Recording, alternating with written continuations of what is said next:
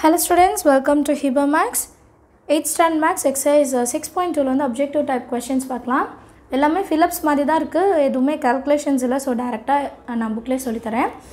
Data is a collection ஆஃப்னு கேட்டிருக்காங்க. Data வந்து நம்பர்ஸும் வரும் வேர்ட்ஸும் வரும் மெஷர்மெண்ட்ஸும் வரும்.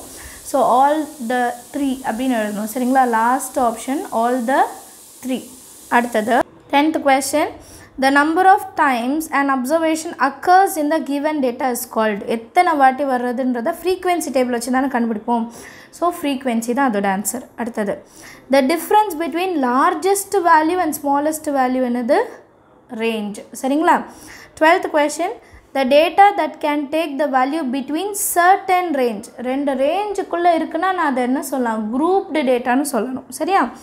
அதுக்கப்புறம் inclusive series is a discontinuous இன்க்ளூசிவ்னால என்னது? டிஸ்கண்டினியூஸ்ன்னு சொல்லணும்.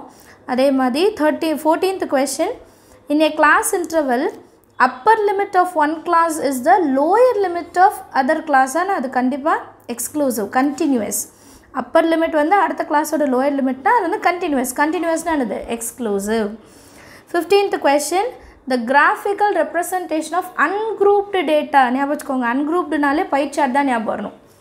அடுத்து histogram histogram is a graph of a dash frequency continuous ஹிஸ்டோகிராம்னாலே கண்டினியூஸாக அடுத்தது a dash line graph for a graphical representation of continuous continuous frequency டிஸ்ட்ரிபியூஷன்னா frequency polygon line graph கேட்குறாங்க பாருங்கள் line கிராஃப்னாலே அது frequency polygon eighteenth question என்னென்னா the graphical representation of grouped data is grouped டேட்டானாலே அது histogram தான். சரிங்களா? Graphical representation of grouped டேட்டானா histogram சரிங்களா? ஃபிலிப்ஸ் மாதிரி படிச்சிடுங்க.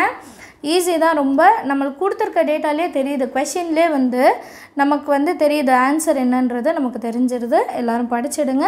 Thank you so much for வாட்சிங்